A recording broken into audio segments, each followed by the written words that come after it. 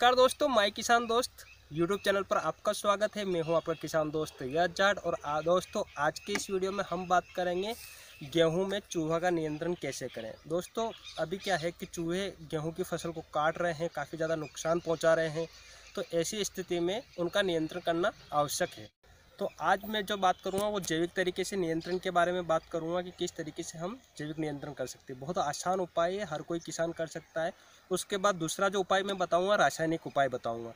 दोस्तों, करना क्या है? यदि आपको बिल दिख रहा है कि यहाँ पर आपके चूहे चूहे ने नुकसान कर रखा है तो उसके लिए बहुत सारे किसान भाई ऐसी बल्ली खेत में गाड़ देते हैं। बल्ली गाड़ने से होता क्या है? जैसे मान लो ये बल्ली गाड़ दी तो इसमें पक्षी आके बैठता है और चूहों को खा के ख़त्म कर देता है।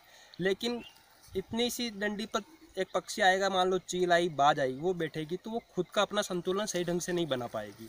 तो वो चूहों और उनको क्या मारेगी? तो उससे बहुत कम रिज़ल्ट मिलता है।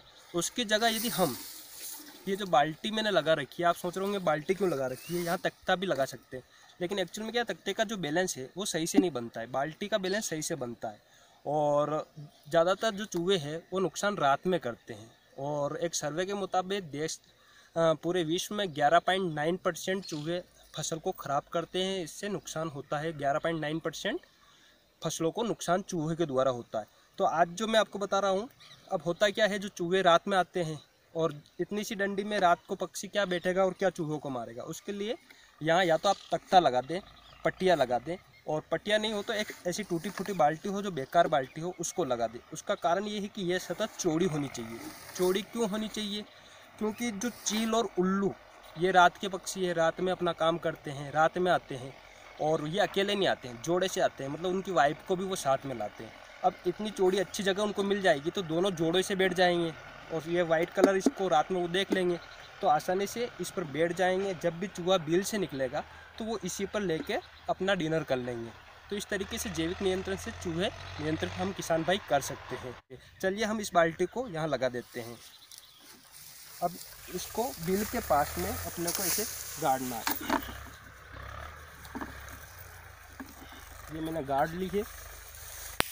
जस्ट मैंने बिल के पास ही लगाई, ताकि वो ऊपर से इनको देखकर ख़त्म कर पाए और बहुत फ़सलों को इन्होंने नुकसान कर रखा है, ये हमारे गेहूँ काट रखे हैं, इस तरीके से।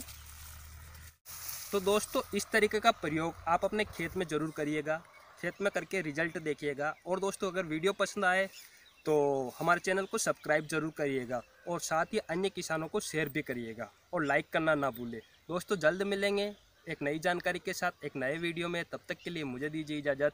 जय भारत, जय किसान।